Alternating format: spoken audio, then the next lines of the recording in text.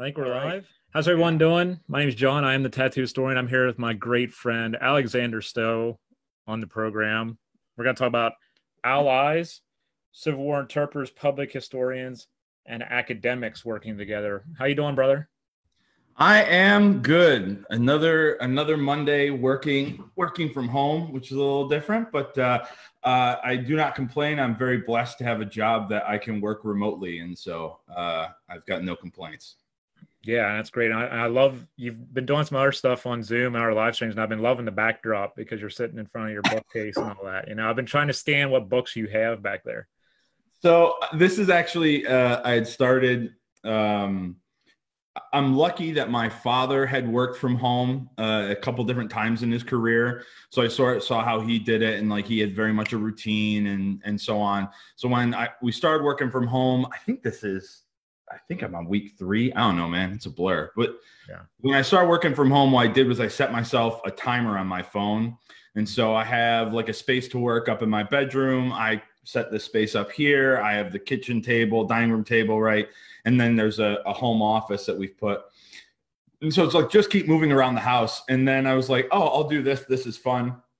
Yeah. And then uh, our our mutual friend, the great the great General Steve Fawn, oh, yeah. uh, he was he was busting me about the first corps flag, and I'm like, oh, I think it's in a it's in a cedar chest so it doesn't get moth eaten. He's like, you should hang it up yeah. which has been great because people who you know it, it's a it's an interesting learning tool because they're like oh alex i didn't know you're so interested in japanese uh, culture like uh, where, where i don't remember you studying that in college so it's a it's a good talking point oh i, I should have thought that steve Fawn was the one to get you on that and oh, like, oh. put it up oh yeah that's yeah.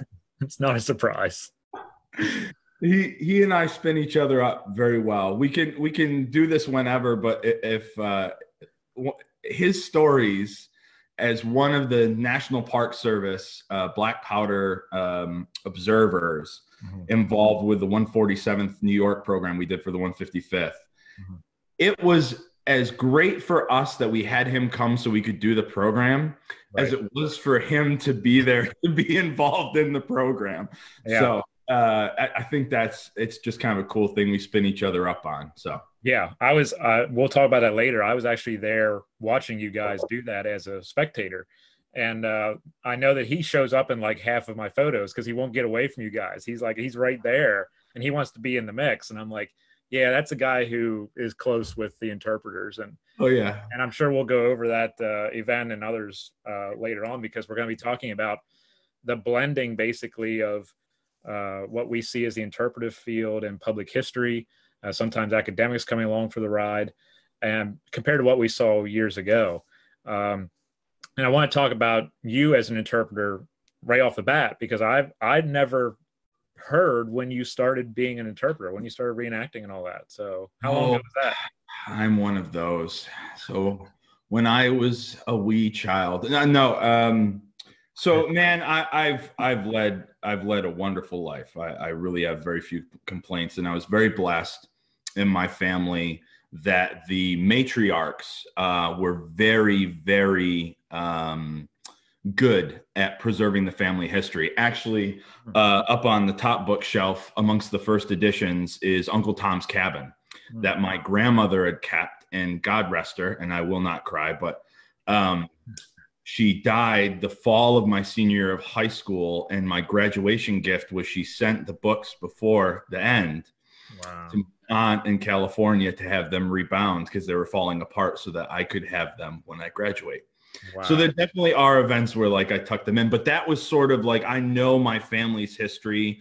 Right. You know, I can I can go back to the family farms. I've got pictures of all, you know, when photography started, right? And I've got mm-hmm. pictures from the 1850s and 60s of the the properties and so I think I've always had that interest in like the the where do you come from? and then you know the little you know uh, like so many of our friends you know i like theater and performing arts so it was kind of the, those two things of like you're you're in history and there's a quote and uh, i'm very embarrassed to say i can't remember who it is but i literally have it up on my dresser upstairs it says history at its best is vicarious experience and that sort of became my thing and so when I was 12, I started doing all that research. And by the time I was 13, and of course, um, you know this for anyone who doesn't know me personally, I'm six foot six. Uh, and so by the time I was 13, I was almost six foot tall. So no one looked at me and said, "Is this guy old enough to, you know?" Right. And um, and even it was funny because my father had taken me out when I was younger to give me the like, this is how you use a firearm safely. And I ended up with my first firearm, and my grandmother, my maternal grandmother, who was living with us at the time, who's it's the Uncle Tom's cabin she gave me. She took me out with the Mississippi rifle, and she said, "I just want to make sure." You know what you're doing. And so I kind of had all these people in my family that were like, you should go do this. You should go do this. Mm-hmm. Um, I got wicked lucky in uh, Syracuse, New York, actually in Liverpool. There's a museum and it's it's in sort of a, limbo, and, and I really hope the Haudenosaunee and, and the, the people, the Onondaga Nation, are able to do um, do great things with it, and they've already started to do a lot with it. Um, but Saint Marie among the Iroquois, and it's a recreation of a Jesuit mission. And I remember it was it was it was field trip fodder. When you were a kid you went on a field trip to uh, st marie right? Mm-hmm. mm-hmm. and then it you know in the the late 90s wave of like what can we afford? You know cutting down county budgets it it got shut down. And when i was i think it was going into my senior year maybe it was my that, like winter my junior year they brought it back and they said we're going to open up. It's all going to be volunteers. And i looked at my parents and it's like i need to do community service hours to graduate. My parents like this is a great thing for you to go and do. Nice. and so i got grassroots. There was a guy um, uh, john Yanyost, uh, who uh, i think he's Onondaga um, but he was actually getting his phd in museum studies at syracuse university as an older non-traditional student um, I mean, you know about non-traditional college students, don't you, John? Yeah, I, uh, I was one. Yeah. He he he he had a lot more gray than you've got, brother. But he was great because he took me and and did everything like, why did we do this? Like from a very technical museum field, and that was sort of like, oh man, maybe museums is where I can go at. Mm-hmm. So I did all that. Went to Syracuse University. I you know I thought I wanted to do pre-law started loving my history courses more. And then I had someone say to me, Well, what about a museum? And the first summer in college, I could go back, do work at St. Marie, volunteer at St. Marie. And then everyone said, Well, what about this? What about that? And then I end up at George Washington's uh, Mount Vernon, working in the grist mill and distillery one summer for an internship. And then I ended up, instead of studying abroad, I actually came down here, went to Gettysburg College for a semester mm-hmm. doing a study in the Civil War internship at the Schreiber House and doing some archaeological work with the National Park. And uh, then after that, I got an internship at uh, Harper's Ferry. And it was just, it kind of, it, it was a really interesting progression. Tragically, 2010 was what it was for the hiring field and, and sort of the, the health of museums and their ability to hire young people. Mm-hmm. Um, and I mean, you and I, I mean, how many stories could we come up with of friends that we had that in that era were trying to get into museum fields and some made it but some ended up kind of flaming out. Right. And um, so i just i was like all right uh, there was a great guy from uh, college the an alumni at syracuse winston fisher who he said he said to me like remember there's vocations and avocations. And like maybe your avocation is where your passion is. And so that's when it's like, all right, I'm going to do interpretive stuff. I've done all this. I've made some connections with the National Park Service. So when things come up, let me just, you know, get involved. I, I had become in the reenacting world, I'd become sort of a, a gun for hire. I wasn't like, you know, any leadership position in any unit. I just kind of showed up I, I, have tried to uh, build a reputation that if I'm there, it's going to be a good time, or if I'm going, I intend to have a good time where I'm going. Uh, and so that that's hopefully the cult of personality I've grown. Um, yeah. But it, it, it was something that, okay, I've done all this academic work. I'm not going to go in that direction anymore, but I can still do all of that. And there's still a lot of value and need to apply that and be able to move it somewhere mm-hmm. so that it's useful. Right. So you've had all that background with public historians working in volunteer stuff and all that with with the park service. So it has to be pretty easy for you to reach out and say, "Hey, you know, this program would be really cool to do." Because I'm thinking of the first time I really actually met you was at the 147th New York gig at Gettysburg, uh, when you came across with almost heat exhaustion and I'm the and the old uh the old line lieutenant in me is like get all your traps off, get cooled off, all that stuff. I remember Ranger Chris Gwinn standing there and watching me like, who is this guy? Because Chris didn't know me yet either. Really? Yeah. yeah. So none of you you didn't know me, and I'm like, okay, this guy's going down from the heat, like everybody else was. And I'm just like, I got to help this guy. And that was the first time I think I met you like in person. And that uh, was that was uh, just to, to the brief reminiscence of that moment, my memory of it. We knew it was hot. I'd have to look it up. I, I posted it somewhere on Facebook. I think it was 27 or 28 degrees hotter on July 1st, 2018. That was July 1st, 1863. Wow. And we were nowhere near in shape. so it's, like as much prep. And so what we did was we'd stopped all these points, but the last point, one of the seasonal guys, Jared Foose, who's now up in Lexington. Um, he's uh, his girlfriend, uh, right out of college, got the dream job at Faneuil Hall, and oh, he, he he he I think he went to school in West Virginia. I don't know if he's a West Virginian, but I was like, so you're gonna move to New England? You move? Nah, I don't know. But anyway, anyway, so Jared and I hadn't stopped at the last stop. When everyone stopped at seminary, we're like, we need to book over so Chris knows we're there. Right. And it was you, and I don't know if you remember. There's another guy Pete Smith, who's an old Columbia Rifles guy, and his oh, son yeah. actually in the ranks.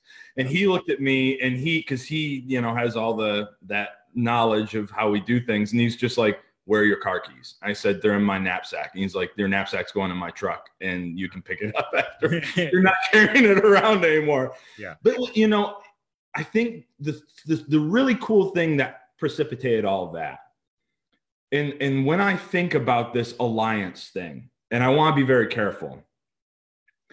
I think there's a bit of my natural personality, there's a bit of the way I was raised, there's a bit of that networking that I learned because I was a college student, not just a history person, but just like a college student. Mm-hmm. That, you know, when I first ran into Jared Foose some time ago, it was just like this is a guy I want to keep tabs on. Like I didn't give you acknowledgement, like okay, this is John Heckman who's walked over and saving my skin. But when you walked over, I'm like, oh god, all right, John Heckman's gonna watch me. I hope he's not live streaming this because I look like a turd. Um, but anyway, uh, it it really was something that I was like, all right. And so Jared and I just we always spitball, and then the same networking being now senior assistant director of admissions at the college, I was doing some program and Chris Gwinn was a big speaker. And I'm like, I wonder if I could just send this guy an email as a Gettysburg person. I've heard about the Gettysburg Network, you know, out on the battlefield with Steve on Sunday, and all of a sudden a guy jogging along in a yellow shirt, that big Carmichael smile on his face. It's like, oh, there he is. Just gonna come up and say hello. Yeah. So it's it's one of these things. I just had been in touch with Jared, and we kind of just spitball off each other. But I agree, we've fostered those relationships over enough years that people just reach out and say, or people have their own people that I'm going to go reach out to them because I know what they're going to do, mm-hmm. and it's. I think that's what's made it work you know when when we look at what's been going on as far as because everyone it's always numbers it's always numbers. Right. The blessing too for us any of us who know we're probably talking about at most 200 guys because that's going to be about the black powder cap for any national park program.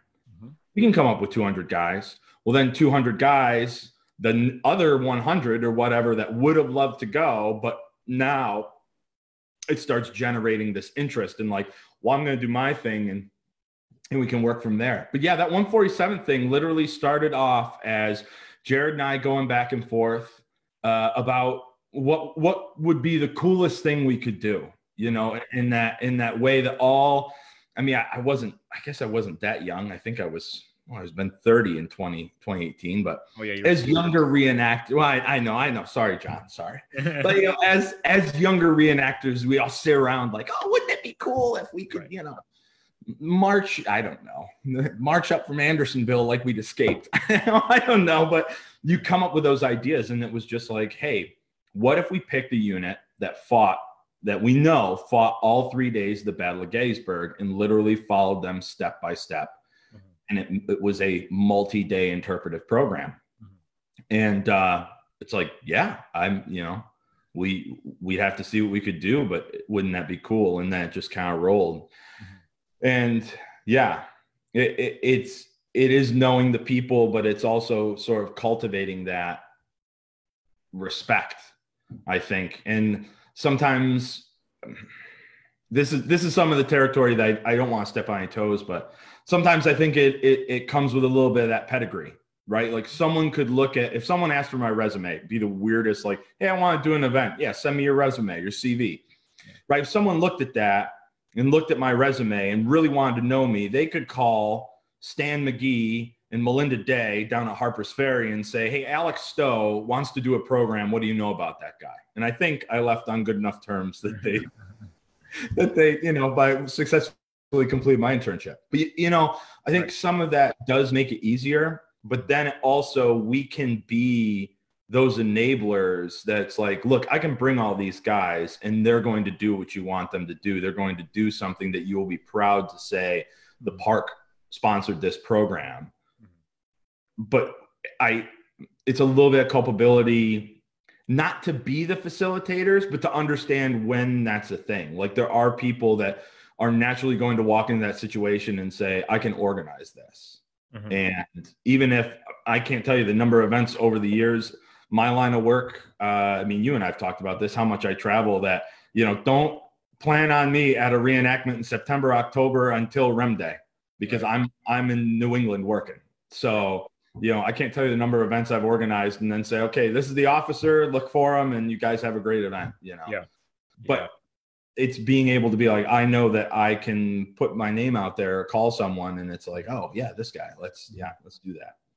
I found that and i've talked with pete carmichael about this and i've talked with some other people about it and i think from an interpretive standpoint it's a very important point to make.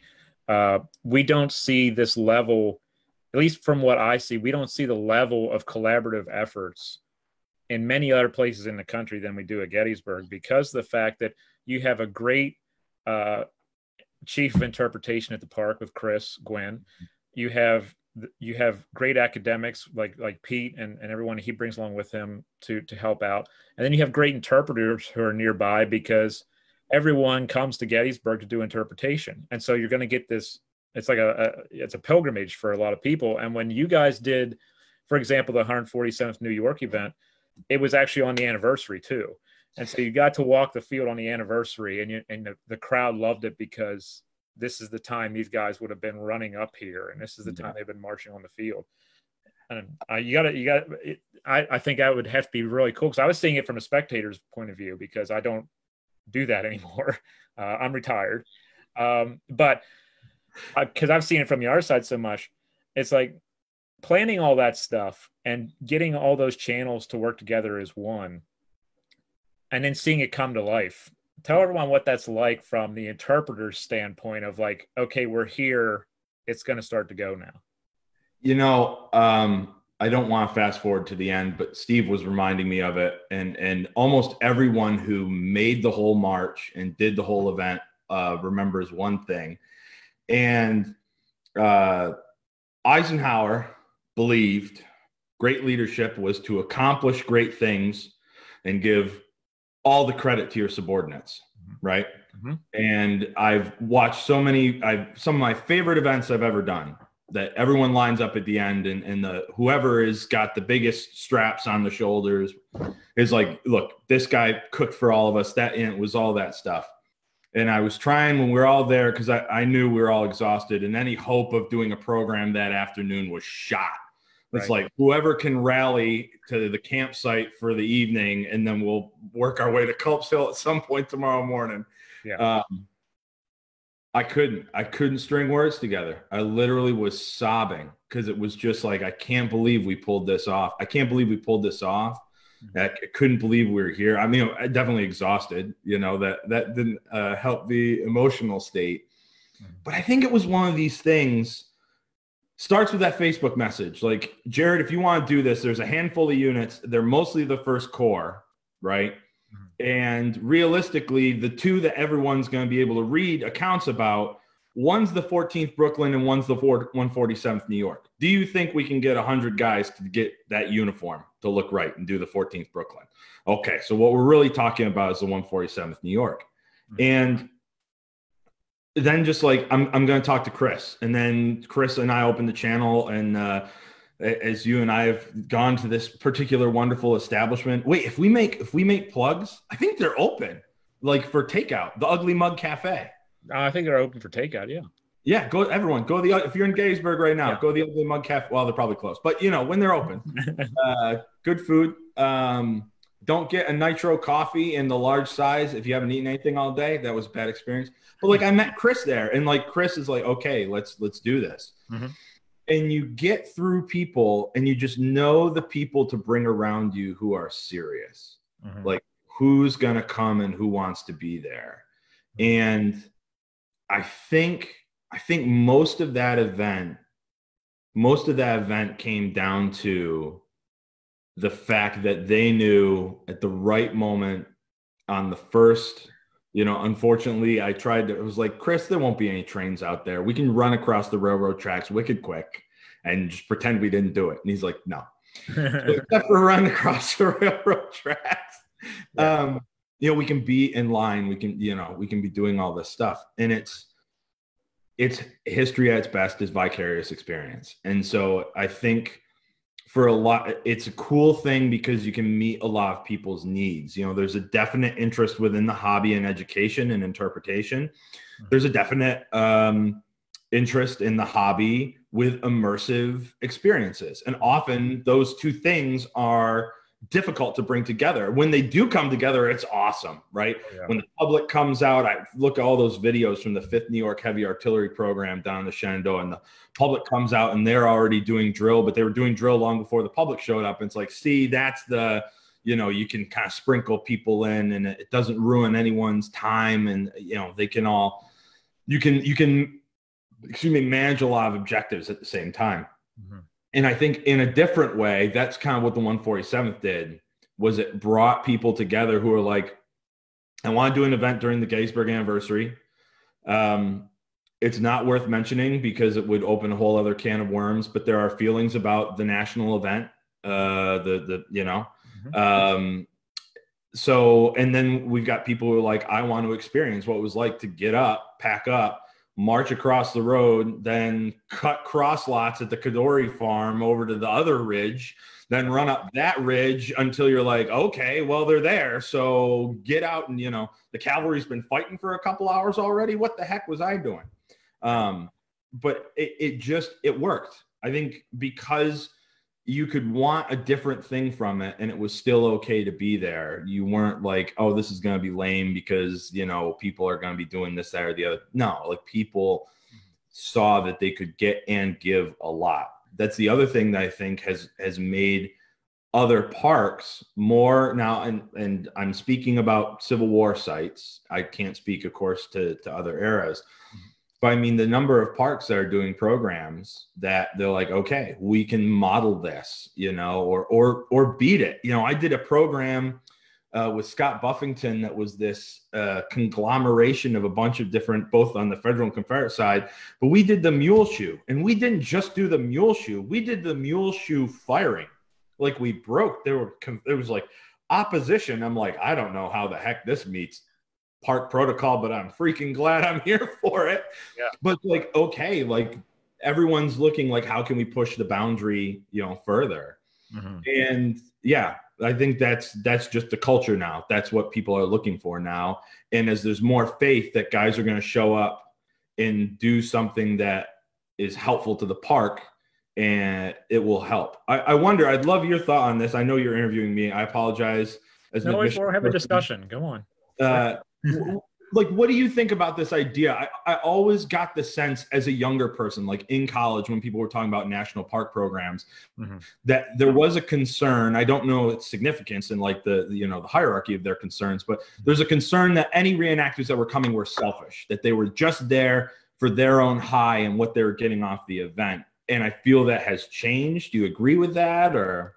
Yeah uh, i would say that 20 years ago, even 15 years ago, there was still this divide between public historians and interpreters and or reenactors, where uh, it was almost like there was a feeling that if your reenactment organization was coming to Gettysburg or Antietam to do a living history, it was a recruitment drive kind of thing.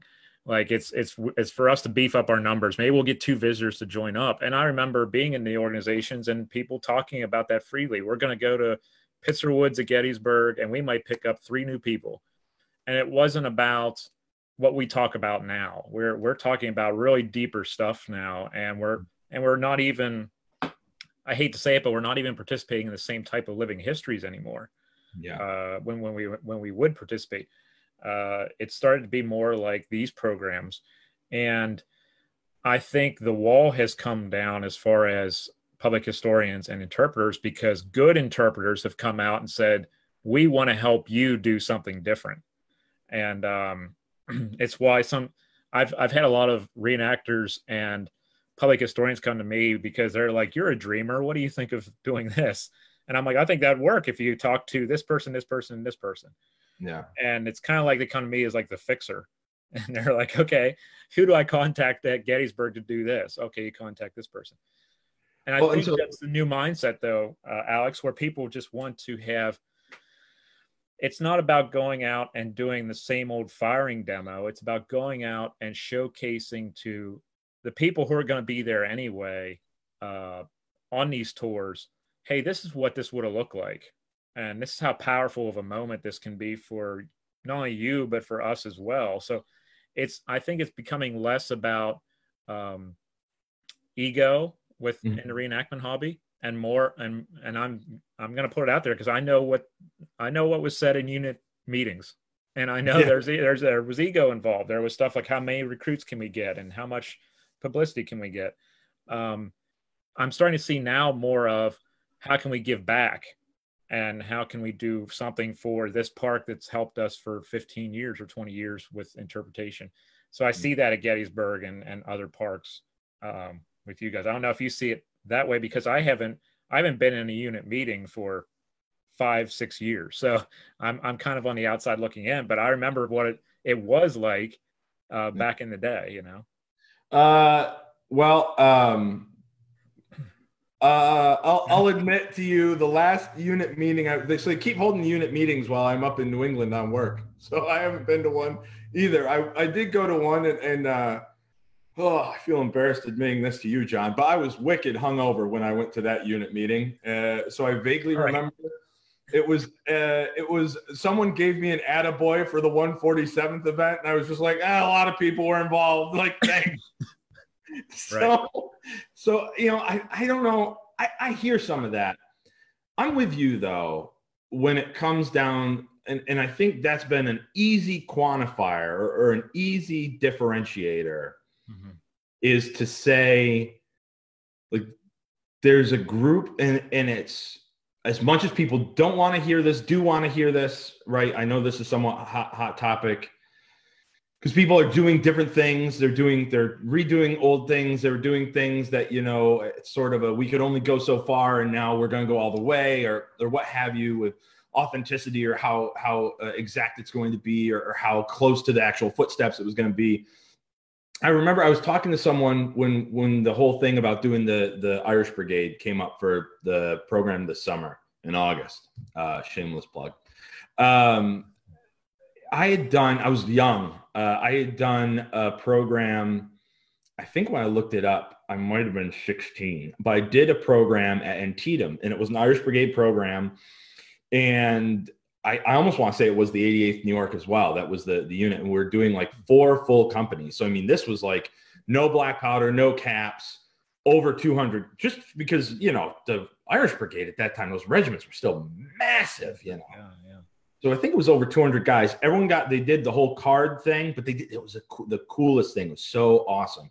They did a card, and then they did uh, there was a time on it, and there was an officer with his pocket watch. And I thought I knew who it was. And I asked him, I said, Was this you? And, and he was like, No, it wasn't me. But it was an officer with a pocket watch. Mm-hmm. And he was calling out the time. And then guys would kneel when that time was called.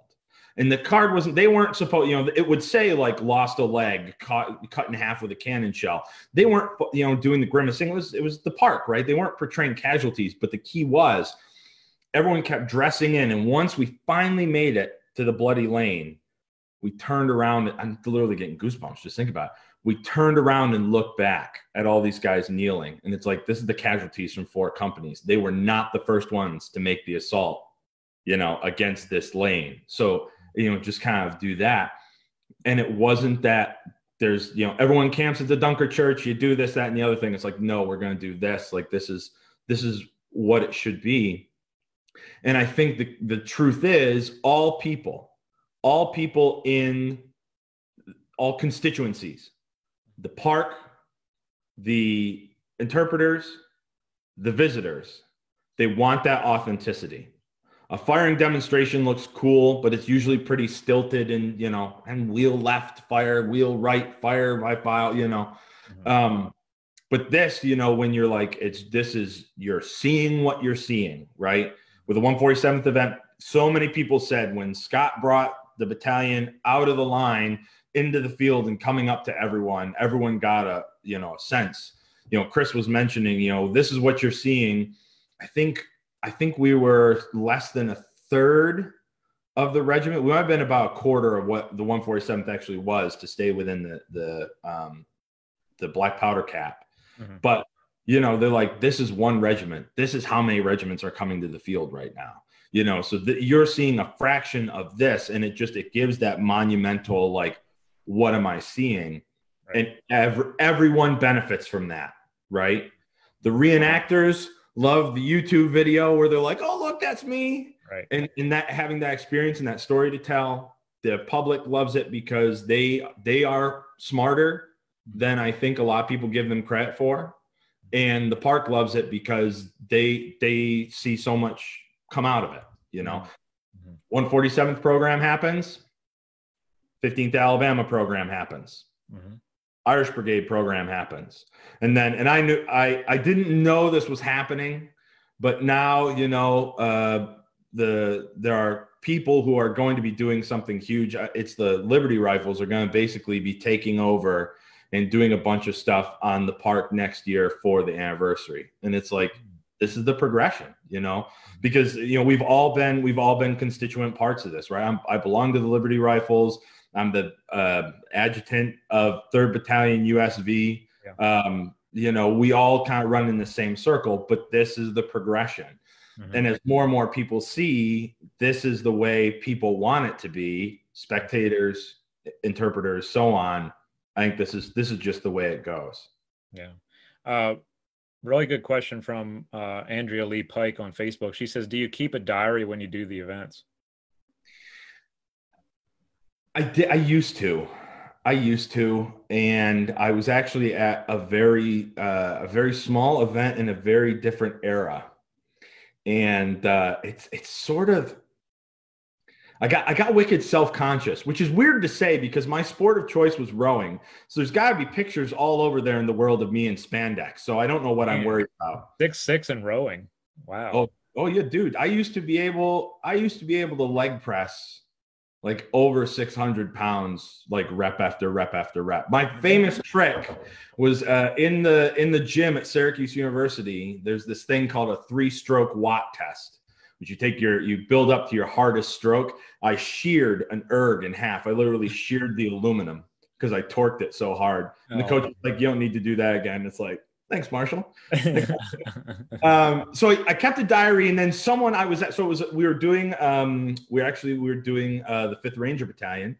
We're up at Fort Niagara because the the construction of Fort Niagara actually those blockhouses look almost identical to the forts and fortifications in Brittany and Brest, um, which the fifth was part of task force sugar. So we set up, we, you know, have a full rifle platoon and we'd set up. And so I had a, you know, Remington typewriter. I was just typing. The woman's like, why are you typing? And I said, diary. And she looked at me like I had, like I had coronavirus. She looked at me like I was the weirdest dude she'd ever met for keeping a diary. And, and something about that, I, I've always had a back and forth you know, I love immersive events, but then I come back and I'm like, was I just like playing cowboy, you know, out there in a way? So that, that's my own personal thing. I do. Um, there's a there's a great dude, uh, Mark Schaffner, um, who w- was for it still is. I mean, I still go to him for like he's the Civil War paperwork guy. Like if you want to know, he's a great source for like, hey, there's this form, what goes in X column. He's yep. a great guy that's got that knowledge. Yep. And he always did these extensive AARs, uh, after action reports, and he would he would do that. So I do a little bit of it, but also events like that. Like I wasn't so much crying at the end of the 147 because of the experience I had. I was crying because I couldn't believe a hundred some odd guys had stuck with me in this heat to do a program that at times, because it always feels this way in a group project that you're the only one doing the work, mm-hmm. right? Right. And so it's like if if this guy was running the event, we'd be doing the 56 Pennsylvania. If that guy was doing the event, we'd be doing an Iron Brigade. You know what I mean? Yep. And so it's like these guys have literally followed me on this thing that Jared Foose and I have put together. I just remember Chris Gwinn came over, and I don't think he threw his arm around me because I was probably way too sweaty. But he's just like, he's like, dude, like, I owe you a drink. And he's like, do you, do you want to do anything this afternoon? I'm like, I don't think I can ask them to do anything else. he's like, mm-hmm. fair enough, man. Mm-hmm. We'll see you tonight. And so it was just one of those things that's like, um, I there are a lot of pictures of me reenacting on the internet. I don't, you know, I've got vanity and ego as much as anyone else, but I really desperately try not to take pictures at events. I desperately try to like there were other people will document like there's something to just experiencing that. And then I have the benefit that it automatically keys memories of, you know, this guy's journal or that guy's letter home. And it's like, this is what he's talking about. Mm-hmm. You know, some one I think it was uh, I think it was into the Piney Woods was this event. It was a long marching event, and I had a pair of brogans that didn't really fit right. And one of the guys said, "Well, you could try cutting the slits in your brogans." And my parents had bought it for me on my birth for my birthday, and I'm like, "Well, you know, you can always ask for forgiveness." So I did. I cut and fixed it. I wore those I wore those brogans till the till they fell apart. Um, but was just one of those like that moment isn't like oh like i do have the i remember doing this and that and the other but uh, it's more of like this is what that guy was talking about and then you can have that moment where it's like here's a brogan why did i cut it up let me explain to you like where does this come from you know mm-hmm. Mm-hmm. Uh, have you ever attended the national council for public history at all?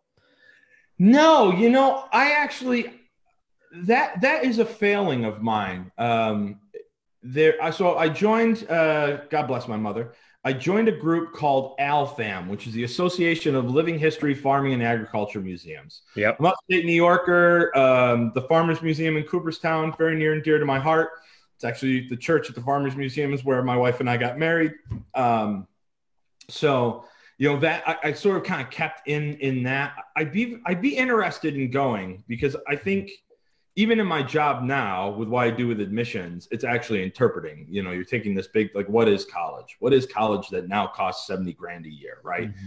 And like trying to explain these things, I think it's more that problem solving is intriguing to me. So in the same way, going to a conference like that, I think would be intriguing just for the overall, like, how are we talking about these things? You can do it in a, in a granular way, like, how do we talk about slavery?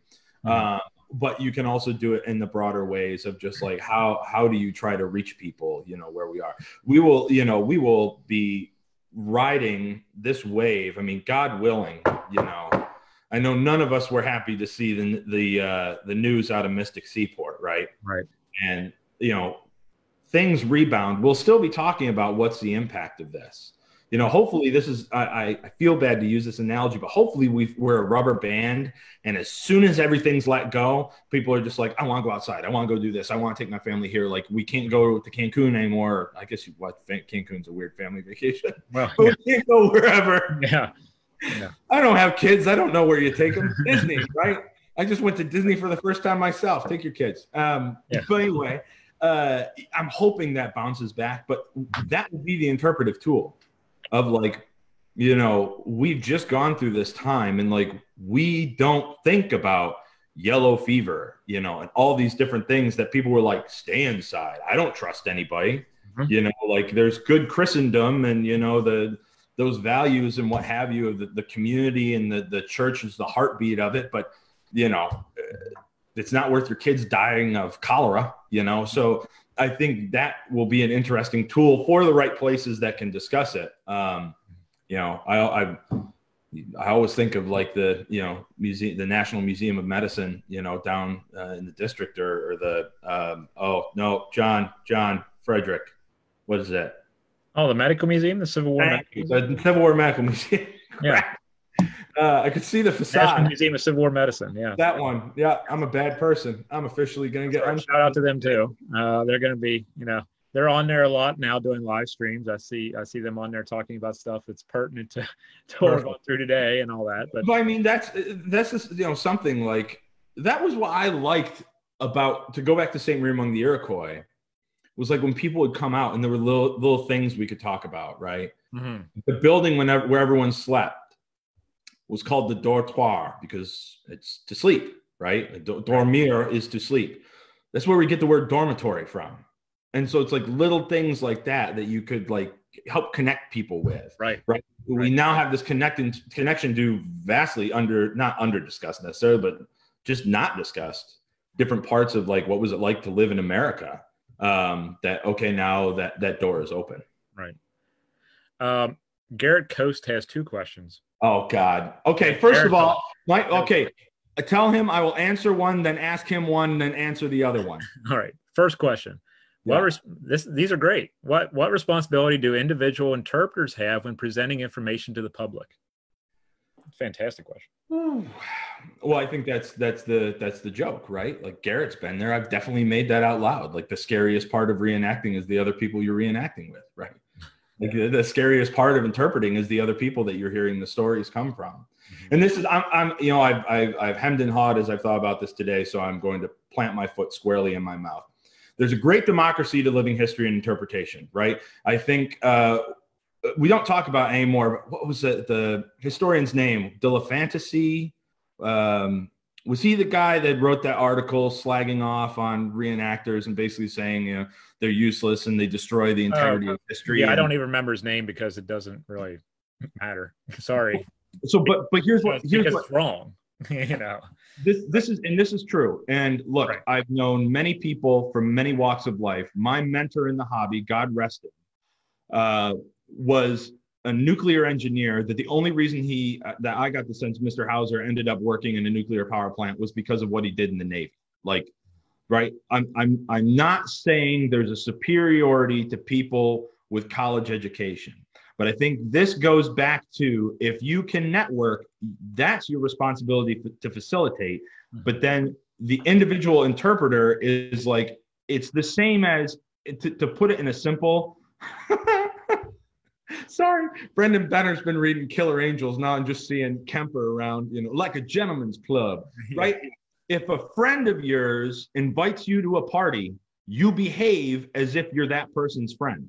Because if not, then that person is going to say, Why did you invite them?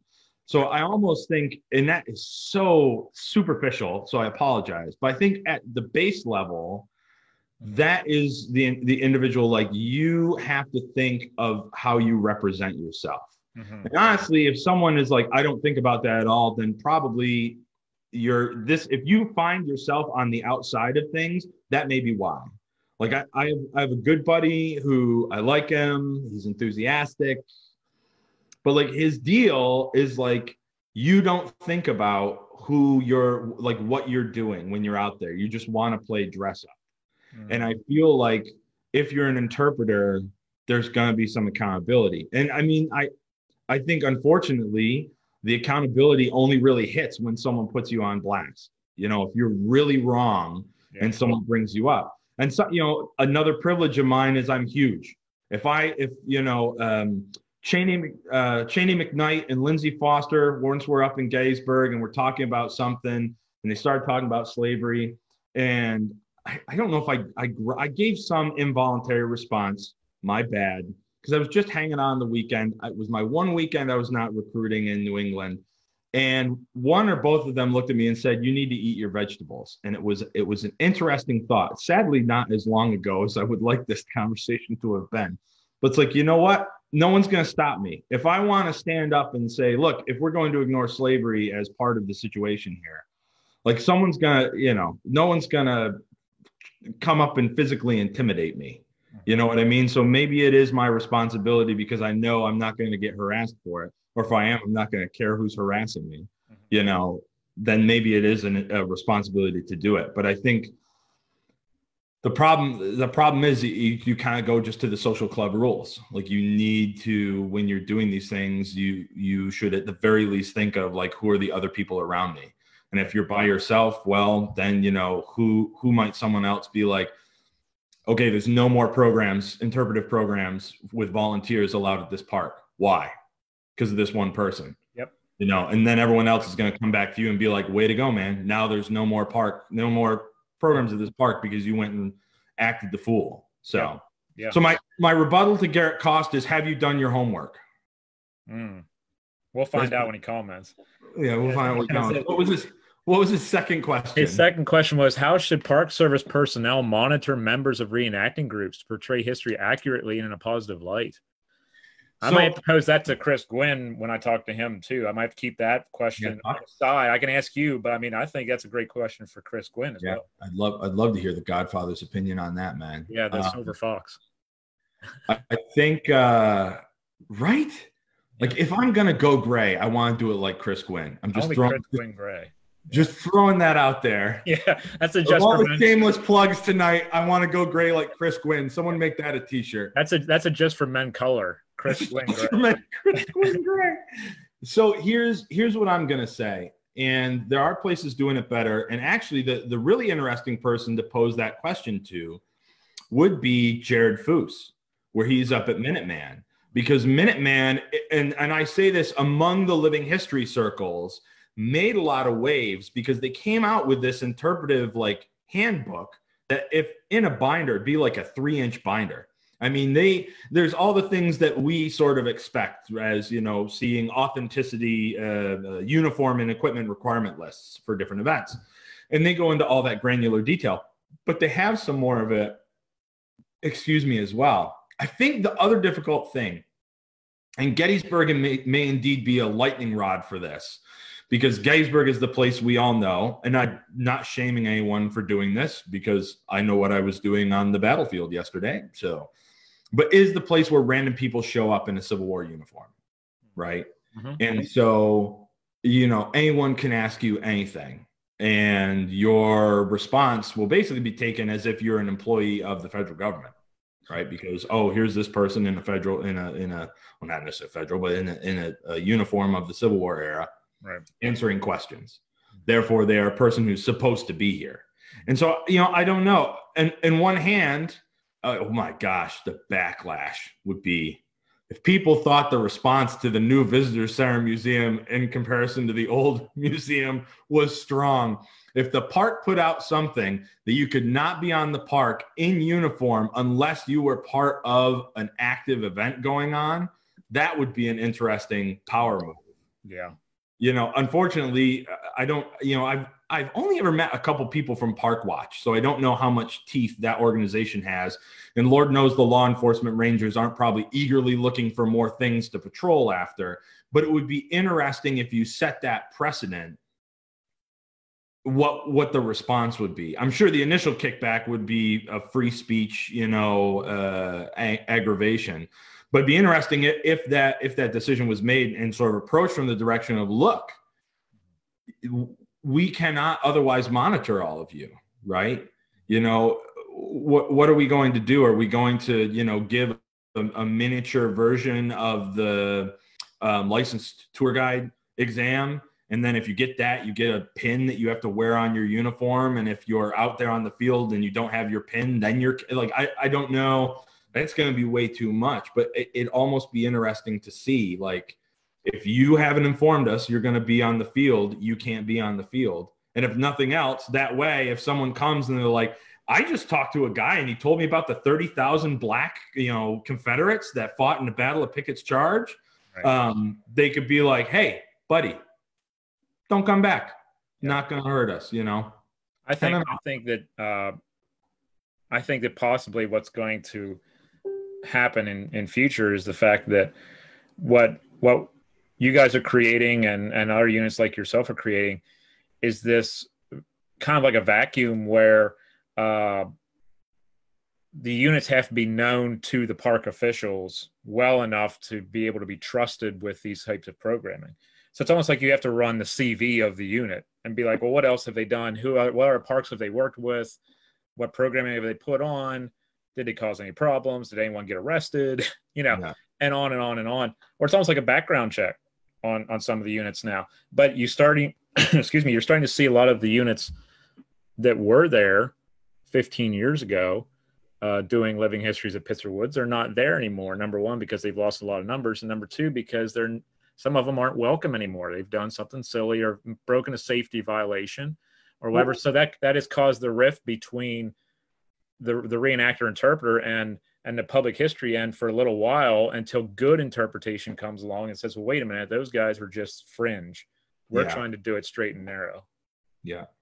Yeah. I think it's the other different. So then, the, then, so then back to Garrett's first question. If you're going to take any accountability, your accountability has to start from the point like you have to set yourself apart from the fringe, mm-hmm. right? Like that you have to start at ground zero. And so this was this was the point I was starting to go in. I think it's a it's a weird barrier to entry, but I think as the hobby in different areas has had more individuals who are college educated, not excluding those who are not, right. but I think for better or worse, that has added to a comfort level for a lot of people because it's like, okay, there's some base, there's some base level you're coming from here, right? I mean, I had I had a job. I loved working at this grocery store. You know, it was not the didn't make me feel the most accomplished right out of college, but realistically, they paid me 15 bucks to like hang out with people and solve problem for idiots. You know, it was kind of like, you know, I'm sorry that we don't sell that coffee in 30 pound bags. I, I don't know how to help you. But um, but you know, being that job required me to have a bachelor's degree. That was right in that was right in the description for that position. Hmm. I'm not saying that we need that requirement because there's a lot of great amateur historians that like, you know, there's there's no way I would want someone to be like only someone with a, a XY college degree is allowed. No, that's right. dumb. What I'm saying is if people want that has been an easier barrier to remove for people you know, if you know someone who was a Gettysburg College student and went through the park and made some sort of connection, how how quickly does that go? Or people at other parks, you know, mm-hmm. how quickly does it go? To now that there are some of us guys that we go uh, on the way back from being down in um, uh, Williamsburg one time, my wife and I stopped in Fredericksburg, and you know, partially it's because I'm a huge looking goof, but people, hey Alex, how are you doing? It's like, oh my gosh. My wife's like, how do you know these people? It's like we've all done ev- events. Yeah. Yeah. And so, but it's one of those things like, okay, now we get to the point that's like, these are people you can talk to. And I'm like, the other thing is, I really appreciate being here, John, but like, I've only ended up in this circumstance because of where I live, and honestly, somewhat because of where I work. Mm-hmm. And like, otherwise, I wouldn't have. And oof, that was going to be an awful sentence to say. I'm going to rewind that one back. like, I don't have a huge impact on the hobby, right? Like, I'm able to put on events that people enjoy. And like I said, I think most people know if I'm doing something that I expect it to be a good time, and maybe that's some sort of like, I've ha- I have had people say like, "Oh, Alex is going to be there, so it'll be a good time."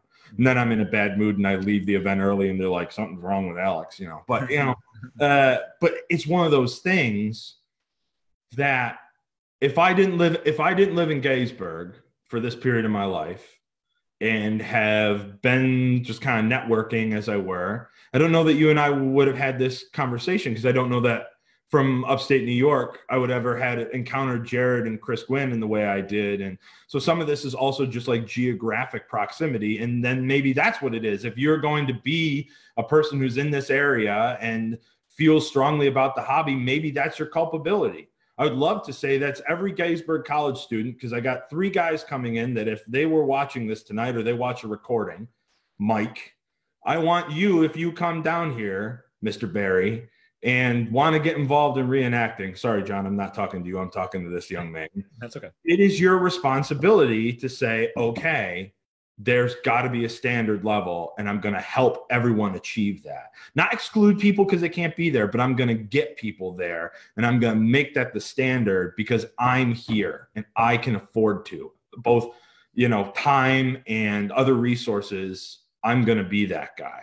Mm-hmm. you know what i mean? It's weird to say but like you know if i wasn't in this area who knows? Right. Same with me. I mean i i grew up 25 miles from gettysburg so uh, my interest in history might be something completely different because I wasn't around the area. Uh, the movie came out when I started reenacting in '93.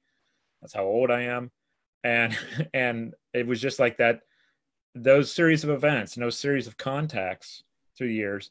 But then growing up in a hobby where I heard that certain people don't want to talk to you because you're a reenactor, and now everyone's talking to everybody else. And you see the wall coming down, the, the crumbling of it, yeah. where it's like, okay, 20 years ago, we would never even talk. Not you and me, but like some people that I've worked with, we've been like, oh, they're in a different sector of of the history field. I don't really have anything to do with them.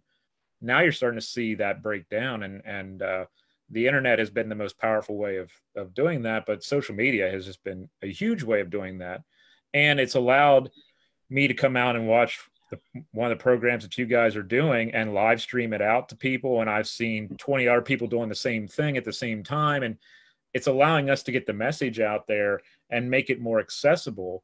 And I think that would be one of the um, main assets of what you're trying to do as an interpreter, the 200 guys with you are trying to do as an interpreter, is accessibility. There's no friction as far as you know you're not you don't have to pay to play. You don't have to come out yeah. here and pay to see us do this. Just show up and and try or have your buddy show up and and live stream it out and we'll watch it or what you know.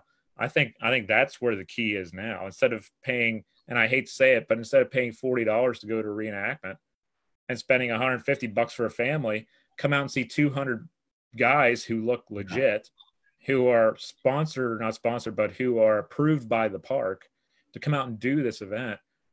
And that's that's more, I think. And you're standing in Herbst Woods, what's was known as Reynolds Woods, at yeah. that time, and you're seeing this happen.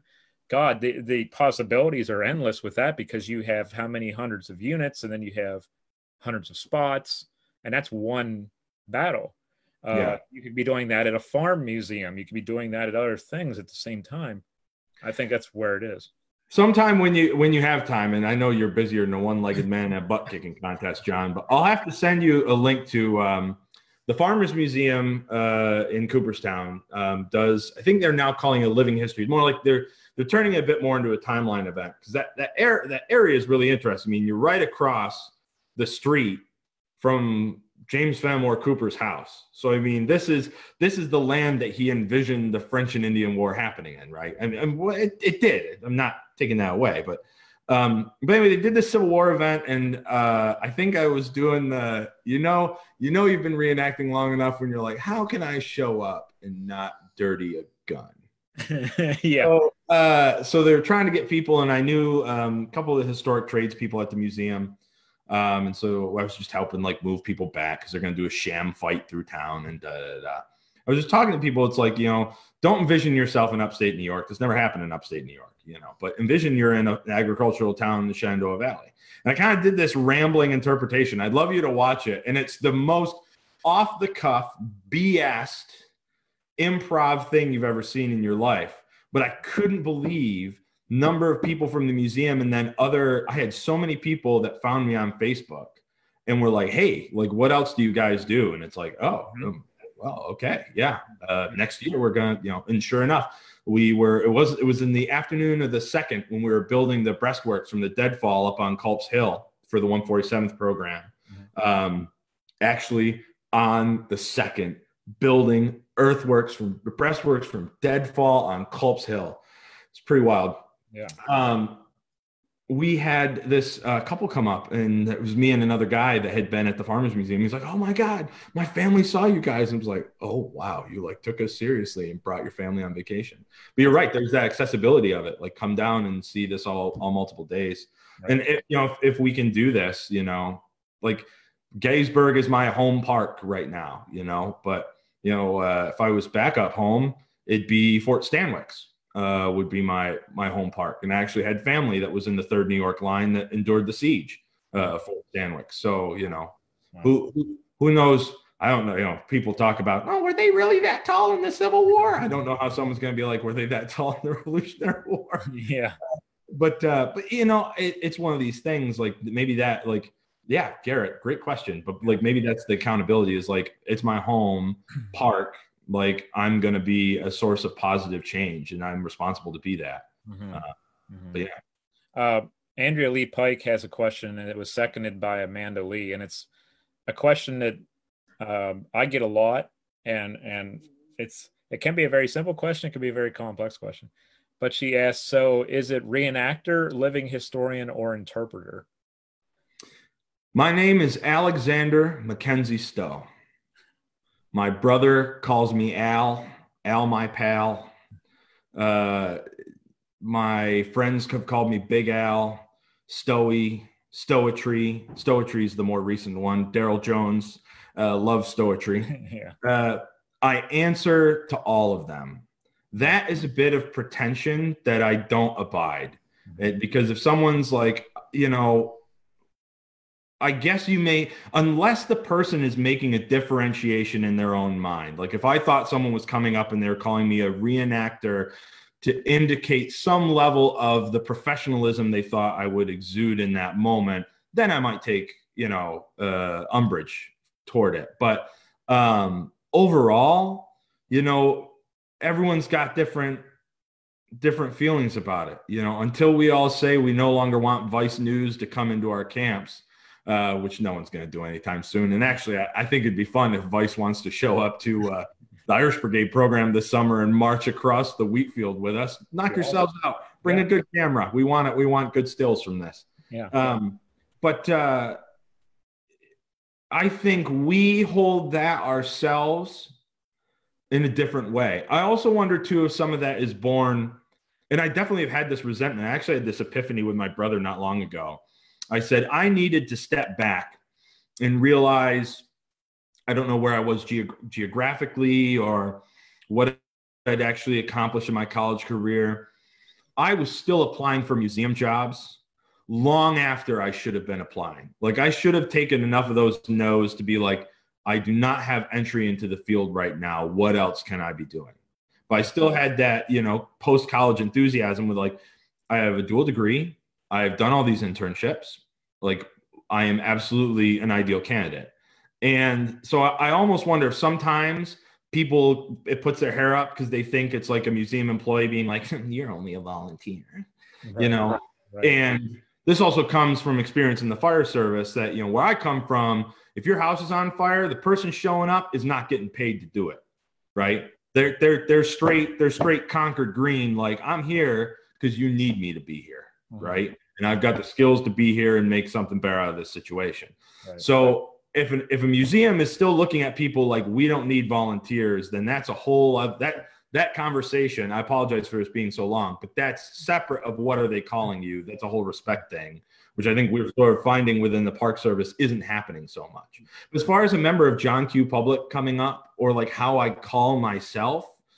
It depends. If i if like you know if i call myself a living historian that may mean nothing to someone.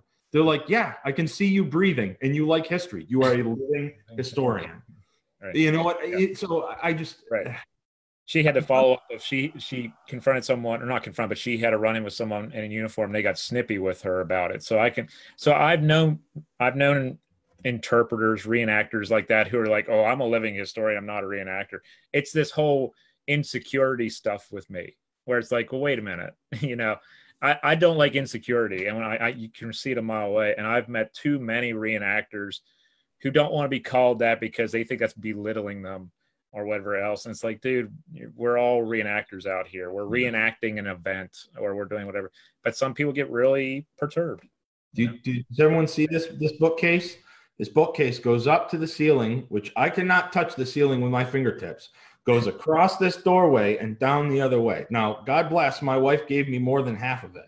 But like, you know, I have a problem. It's an okay problem. There's worse problems to have, but you know, if you can't it's sort of like I've never picked up diarying after that woman confronted me in Niagara that one time, which I guess a bit of insecurity on my behalf. But yeah, you're absolutely right. Like we're in we're in a realm. I think this was the other thing. Back to that article that the guy had written, like I said, dragging reenactors.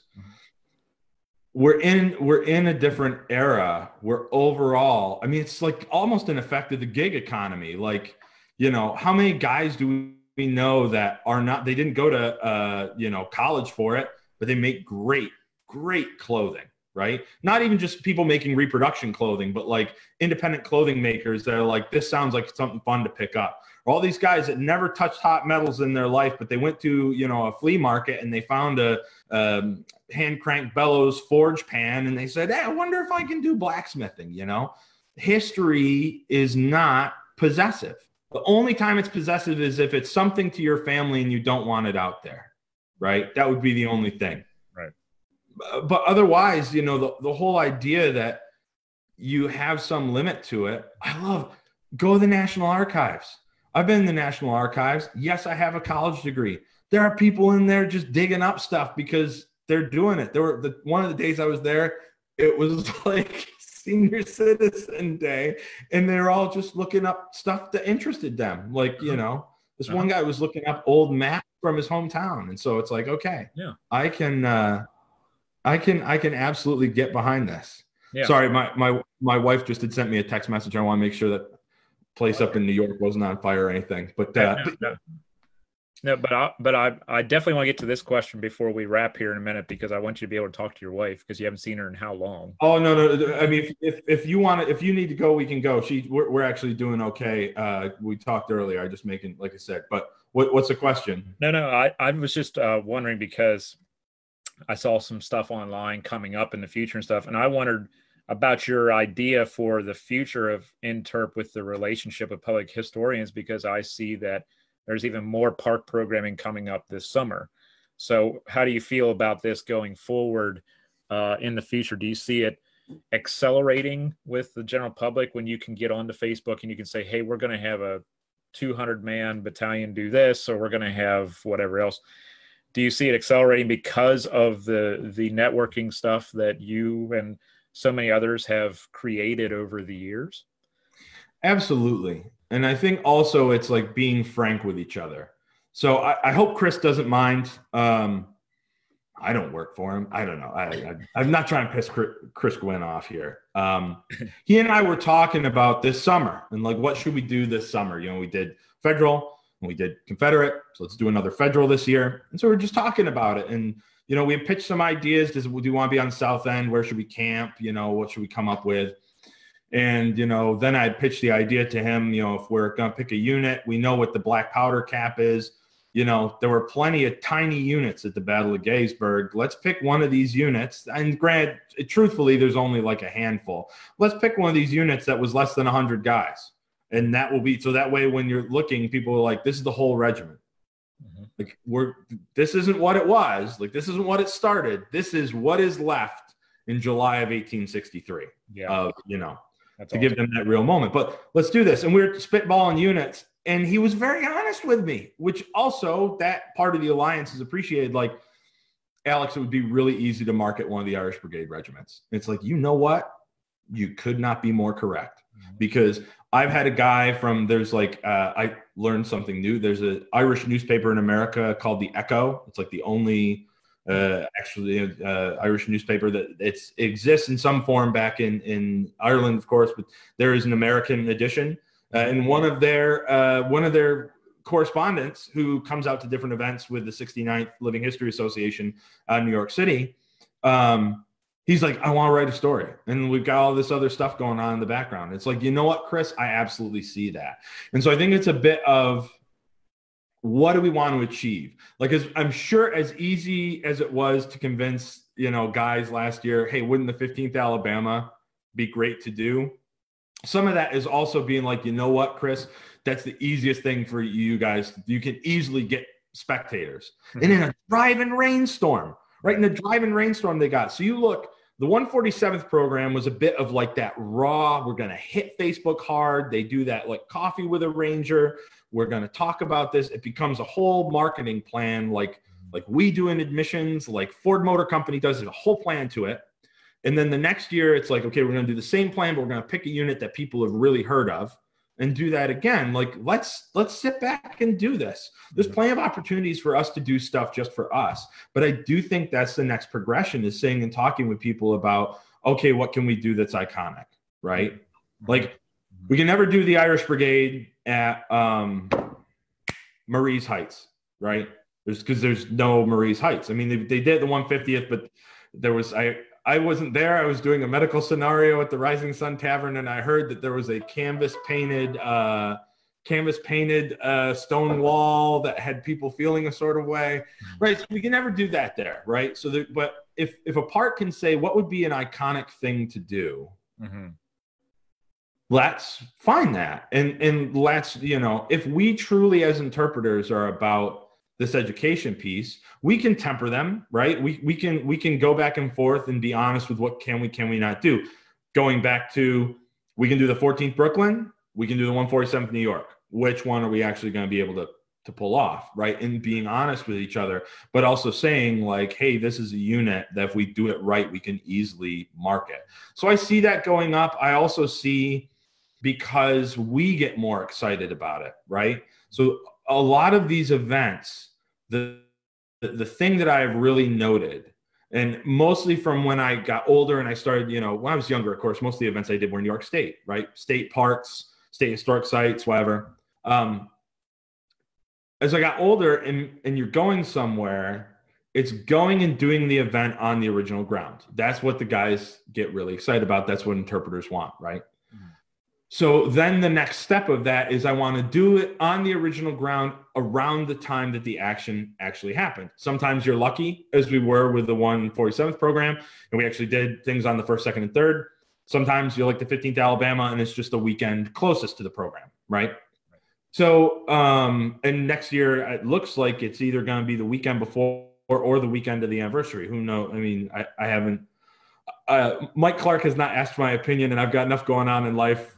He's totally fine not to. Yeah. And again, this goes back to like we all. I think this is the other thing that we can benefit. Brief tangent mm-hmm. is like recognize like there are events people are doing that I'm just gonna I'm show up. It's gonna be great. It's gonna be a good time. Someone can organize it, and then I'm gonna organize something else. And it's like if guys want to be involved, yeah, absolutely, we'll do. You know, we want to be part of it you know, perfect. You know, and just realizing, I think some of the sharing, I think that's the one thing I do get concerned about is is if people and and so far things have gone well, but um that the danger is when someone's like, we're gonna organize five, six events this year. It's like you're gonna you're gonna fail. Right. Um, and I think what the park needs is a mix of the models. They don't want just one group they're always coming to and saying, "Hey, can you do this?" They want sort of the way it was that it's like, hey, can you do this weekend? Can you do that weekend? Can you do this? But also, I think there's been a great appreciation of guys don't want to do that firing demo anymore.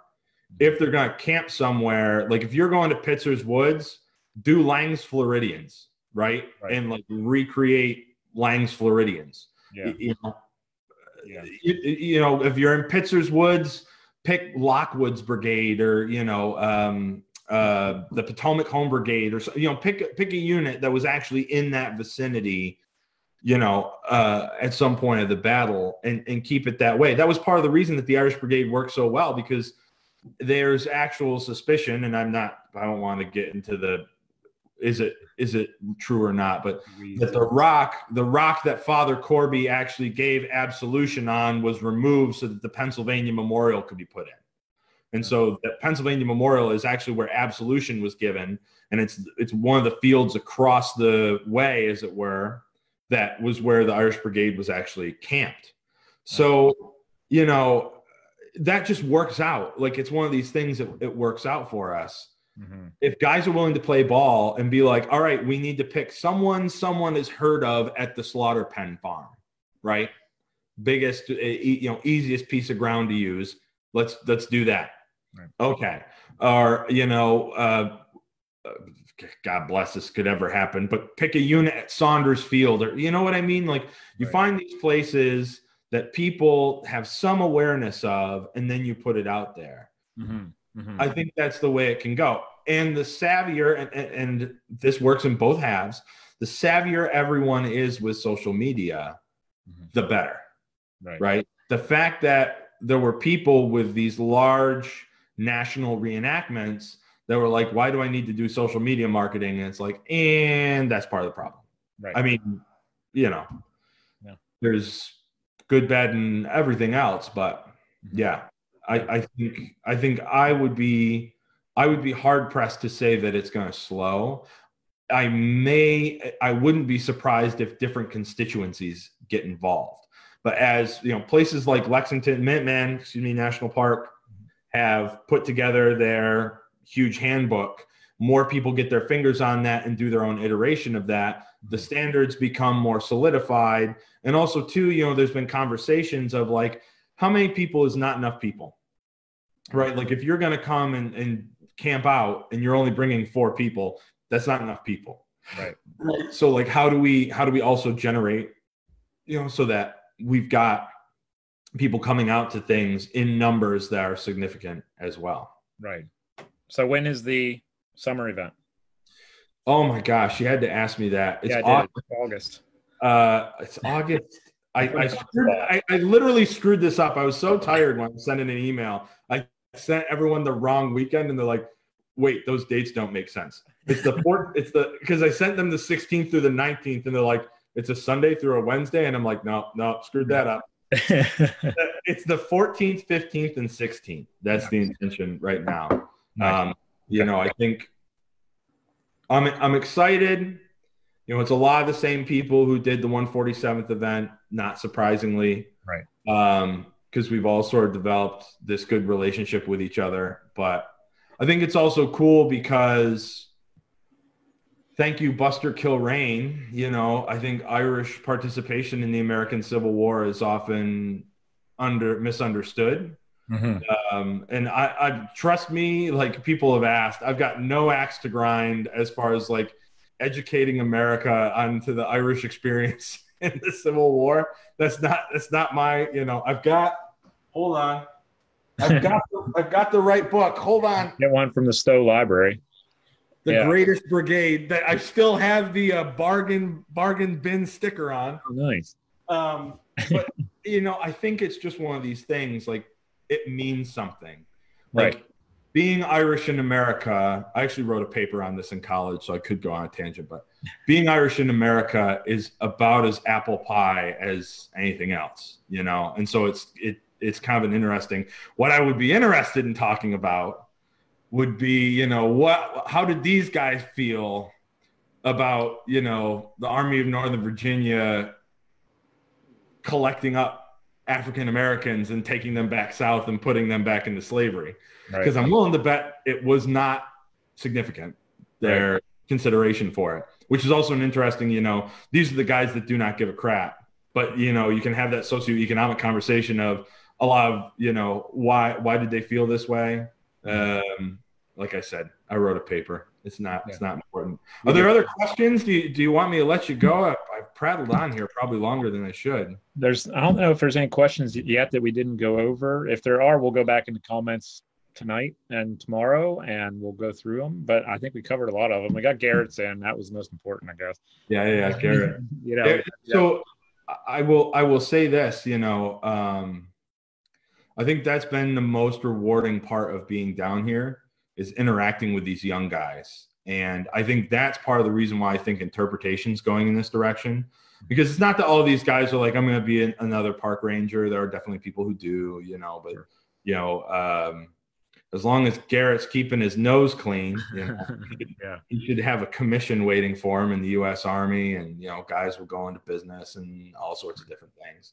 But I think it's taking that lesson of like, okay, like this is cool stuff you can do. Like the one day um, last summer, we did a program with Jared Foose uh, about the 45th New York, and you know that was fantastic and really cool to see you know, all these guys show up from the local area that we literally put out a call and said, if we can get 20 guys, you know, there's no black powder. It's, you know, I don't want anyone driving from four hours away because it's a three hour long ranger walk and right. that's, that's it. Um, but it's still really cool to see all these guys get so excited about it. And so that's why I think this is the direction they've gone because this is what they, this is what they're learning kind of in the same way, like when I was with like Columbia Rifles guys, and you know, a, a, kind of an earlier iteration of the Liberty Rifles. Well, was, there was the Liberty Rifles and the Calico Rifles and all these these other uh, outfits. Right. You know, that's kind of why I was seeing. You know, some of my fondest memories are going down to Kernstown and doing something in oh, yeah. more real time. Going, you know, going down to Antietam, going down, of course, to Gettysburg and doing a Liberty Rifles battlefield walk. Going down to um, going down to do uh, this event at the slaughter pen farm called After the Battle, where we go out and it's like, what are the bodies just laying out in the field? And they had all these mannequins that they dressed up in, in army uniforms because that, that was the the scenario for the public was like after the battle ended, like people had to go get the bodies, mm. and then like that overnight you're slowly working because the pickets are you know whatever the scenario dictated and then all of a sudden you get to the next and you find these like three guys huddled around a fire. And it's like, wait, these guys are like actual dudes. They've literally, their whole event was showing up before any of us, getting out into that hole and not doing anything, like not going, not moving enough that we could see them moving mm-hmm. for a whole day. Wow. And uh, it was, you know, it's a little weird. Uh, I think you have to be a little bit different that that's your idea of reenacting. Yeah. But on the other side, it was like, when the public saw us bring these people in, it was like, whoa, like this, you know, I will say this again and again and again. History at its best is vicarious experience. And so I think, you know, whatever we can do to facilitate that, it's just what all constituencies want is something that feels authentic. It's something that will happen on original ground. Mm-hmm. You know, when I go, you know, I, I, I don't know if we've talked about this, John. So I apologize. It's the weird weird time to talk about. I did tell Chris, so he won't be surprised. But I'm actually moving back to New York State, mm-hmm. and all the guys. That's all they're talking about is Fort Ontario, Fort Niagara, Seventh U.S. Infantry, muster in point. You know, go back down to Elmira Prison now that they've rebuilt one of the blockhouses, and uh, they actually reassembled an original. Uh, warehouse building that was part of the, the depot um, and some other structures there like where can we go that's the ground in New York where things were, you know, actually happening?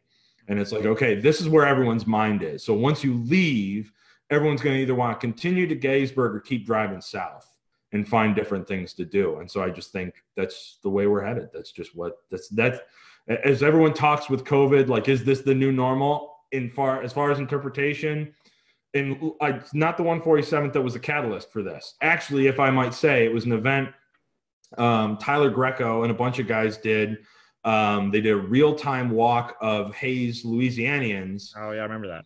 That ended up coming up Cemetery Hill, and I think that kicked a lot of people like, "Wow, we got on this on on July 2nd mm-hmm. or yeah, on July 2nd, mm-hmm. we got like 150 spectators to come out and watch guys hoop, holler, and run across the field."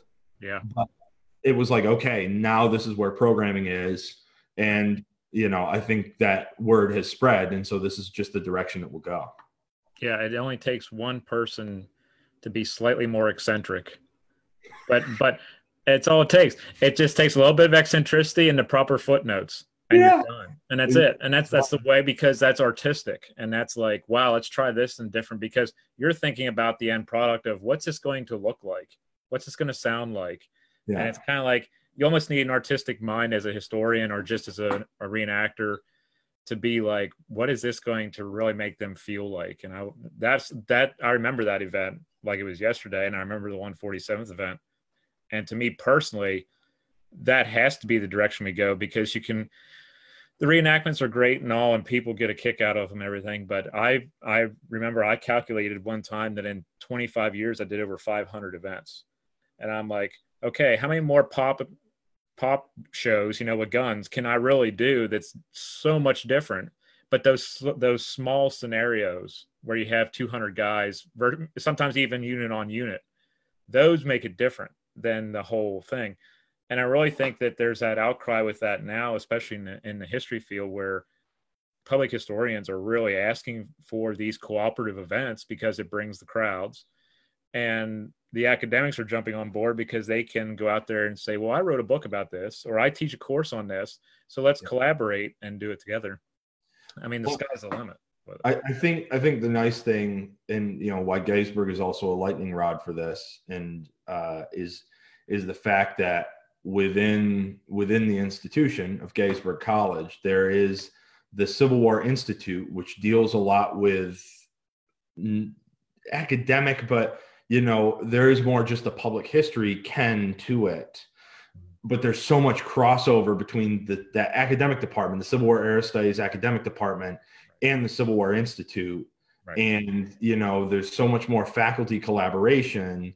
And then you see, like you know, the great Jim Broomall could be standing beside you at a at an event. You know, I remember the first time I met Dana Shoaf at an event, and I'm like, I buy your magazine. You know what I mean? Yeah. And, and so I think that thing is as they and and maybe it's young people, maybe they've just found second wind, but it's like and, and people like yourself doing this sort of work as that revitalization comes, mm-hmm. that was what was missing when I came in. Like when I was really getting into the authentic side of doing things, the Columbia rifles had just imploded, mm-hmm. right? Mm-hmm. And so, like, my inspiration to go do things was like people I kind of knew. And I, I remember I went and did something while I was interning at um, George Washington's Mount Vernon. I went and did something at Fort Ward and I literally knew no one. And there was a buddy of mine who's like, I know a guy, they'll love to see you, just go hang out.